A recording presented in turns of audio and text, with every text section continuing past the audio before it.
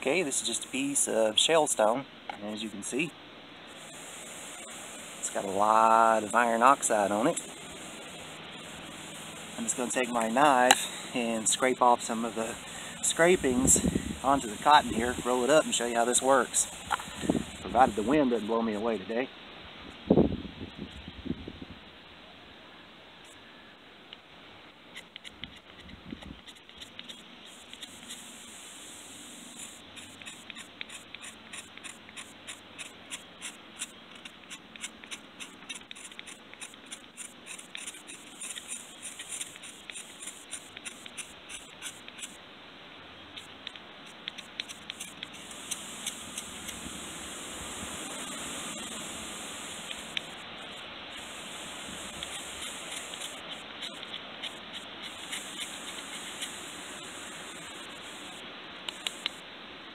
Okay, that's probably good enough right there.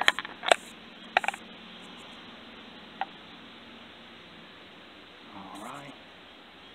Just a small amount, like so. Just gonna roll it up on the inside of the cotton like you guys always see me do. And I'll show you how this works.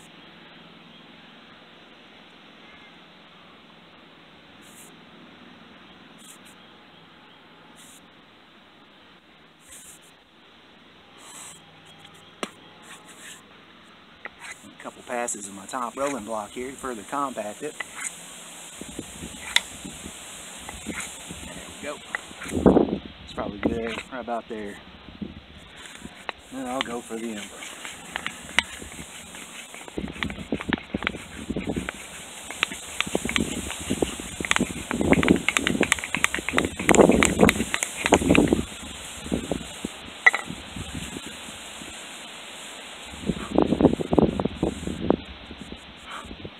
It is way too windy out here, guys, today. It must be like somewhere between 18 and 20 mile per hour wind gust.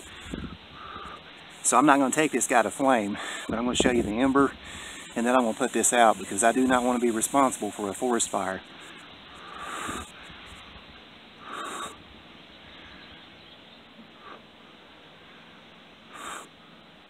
There you go. There you go.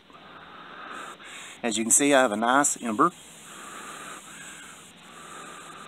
Shale stone has worked wonderful for me in the past for scrapings from it, the iron oxide. Just one of my earlier innovations. I thought I'd share it with you guys.